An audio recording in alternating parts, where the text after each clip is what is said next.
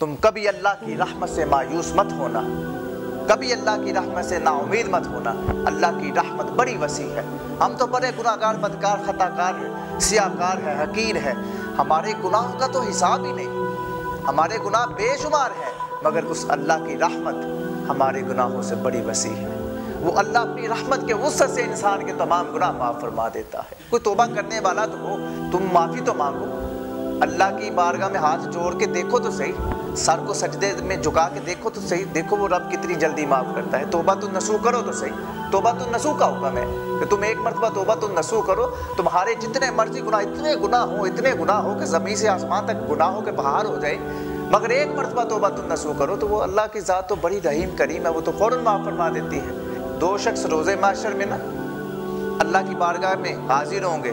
اللہ پاک حکم فرمائے گا کہ ان دونوں کو جہنم کی طرف لے جاؤ۔ ان میں سے ایک شخص تو فوراً جہنم کی طرف دوڑ لگا دے گا، اللہ پاک کا حکم سنتے ہی۔ اور ایک شخص کبھی پیچھے مڑ کے دیکھے گا، کبھی آگے جائے گا، کبھی پیچھے دیکھے گا، کبھی آگے جائے گا۔ اللہ پاک پھر فرشتوں سے حکم فرمائے گا کہ فرشتوں انہیں واپس لے کے آؤ دونوں شخص کو۔ وہ دونوں شخص جب واپس آئیں گے تو اللہ پاک دونوں سے پوچھے گا، جو پہلے تیز دوڑ کے گیا، اس سے پوچھے گا رب کہ تو اتنی تیز دوڑ کے گیا، تجھے جہنم کا ڈر نہیں؟ جہنم سے خوف نہیں آتا؟ وہ شخص عرض کرے گا کہ یا باری تعالیٰ میں نے ساری زندگی گناہوں میں گزاری۔ ساری زندگی آپ کے حکم نہیں مانے ساری زندگی شیطان کی تابعہ داری میں گزار دیے شیطان کے حکم مانتا رہا ہوں۔ آپ نے ایک حکم دیا ہے کہ اسے جہنم میں لے جاؤ۔ تو میں نے سوچا کہ اللہ کے اس حکم میں دیر نہ ہو، تاخیر نہ ہو۔ میں اس وجہ سے فوراً جہنم کی طرف دوڑا ہوں کہ کہیں کوئی بے ادبی نہ ہو جائے۔ تو اللہ پاک کی رحمت جوش میں آئے گی رب فرمائے گا، اسے جنت میں لے جاؤ۔ اور دوسرے شخص سے پوچھا جائے گا کہ تو بار بار مڑ کے پیچھے کیا دیکھ رہا تھا؟ تجھے میرے حکم کا کوئی احساس نہیں کہ میں نے رب کا حکم ماننا ہے؟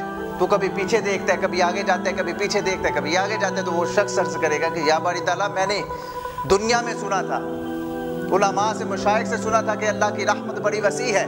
اللہ پاک معاف فرمانے والا ہے۔ میں نے تو اس وجہ سے بار بار مڑ کے دیکھ رہا تھا کہ ہو سکتا ہے اب اللہ کی رحمت جوش میں آ جائے۔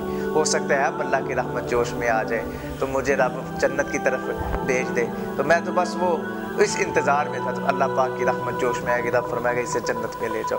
تو دوستو، رب بڑا کریم ہے۔ رب تو معاف کرنے والا ہے۔ وہ کوئی معافی مانگے تو صحیح۔ کوئی آ کے اللہ سے ہاتھ جوڑ کے معافی مانگے تو صحیح۔ فرماتے ہیں کہ تو جب سجدے میں جاتا ہے توبہ کے لیے، سجدہ توبہ کرتا ہے، تو تیرا سر بعد میں اٹھتا ہے۔ اللہ پاک گناہ پہلے معاف فرما دیتا ہے۔